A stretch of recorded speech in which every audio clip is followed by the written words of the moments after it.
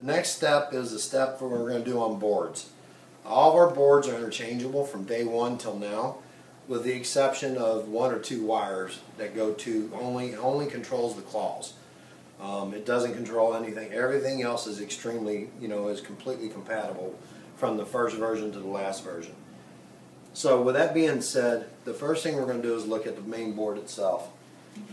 On the main board, I'm going to start with the, the connectors.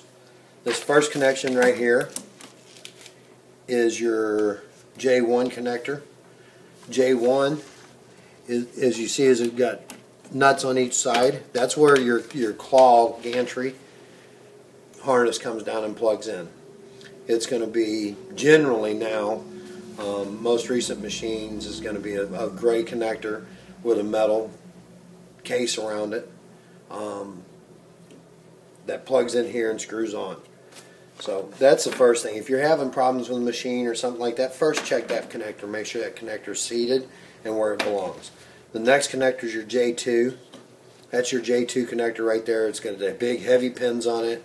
Um, that is your power supply connector. That's what actually supplies the power to the board. So the next next one to look at is going to be, let's start over on this side. That's your J4. Next one is J7.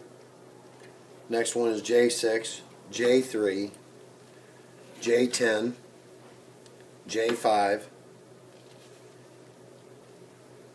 J8, and J9. And these, this one, little one is JA and J12.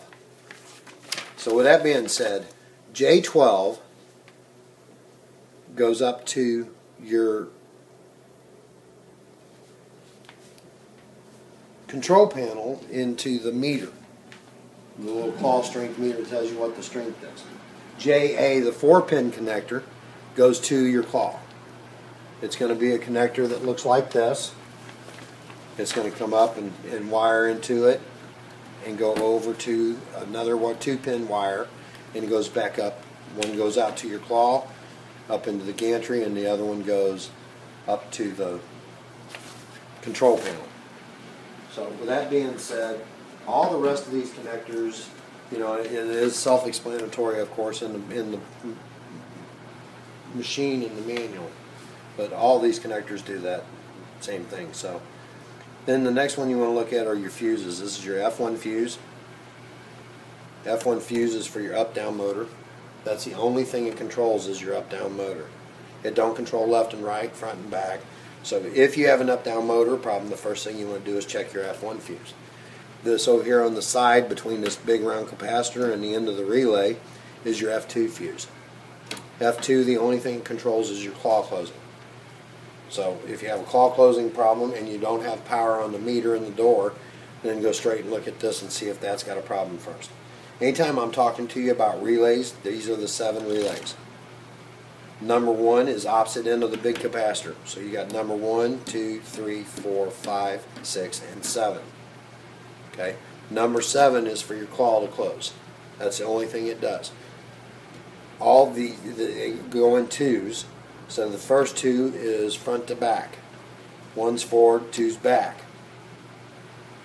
So with that being said, in order to come back to the front, let's say one is to the back, two is to the front, it uses one to, to make two operate. So if one's bad, two will never work. So that's kind of the way they work together. With that being said, the next these are your, your seven relays. One on the edge of the board, seven is down by the capacitor. Then you got your dip switches. Number one is towards the corner. One, two, three, and four. Four is closest to your relays. The 42 pin chip right below it, it could have something on it. It could say what it says there. It could say Route 66 or Smarties. Generally, it'll say something on it. That is that is your EEPROM that tells the board what to do and what it's what it's supposed to do. It's program chips. Over here to next to the relay, you got two smaller version of that chip. One's a 32 pin, which is the lower one, and that's at uh,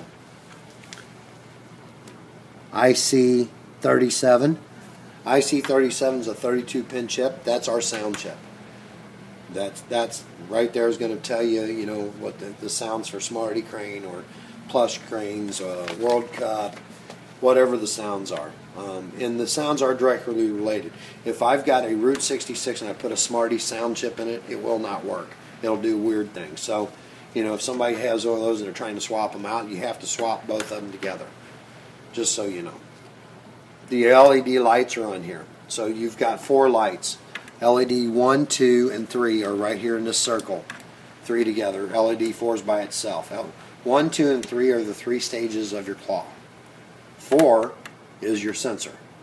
So if any of these three ever come on and the machine's locked up, you got a display locked up or something, and not doing anything, you got two lights or three lights on, turn the machine off, let it sit for a little while, and then turn it back on.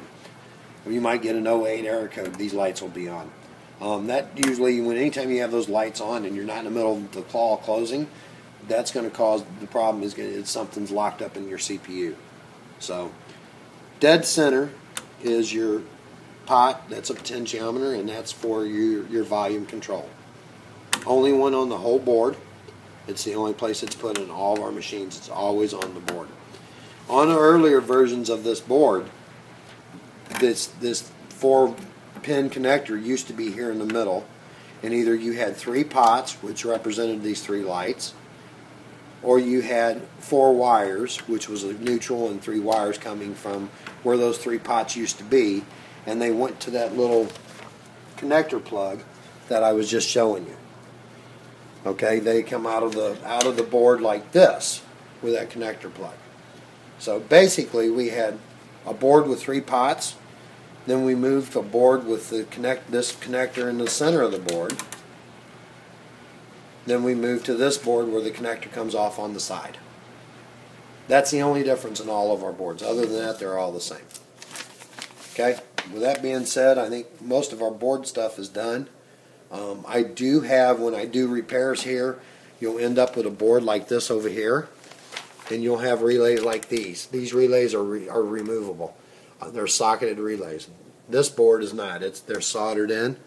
So for you to get them out, you have to unsolder them. For this one, you just pop just pop the relay pretty hard, and it undoes the, the hot glue pull the relay out, move it over, move another one in place, and that's the easiest way for you to test those to see if they're working. And that's the end of the boards.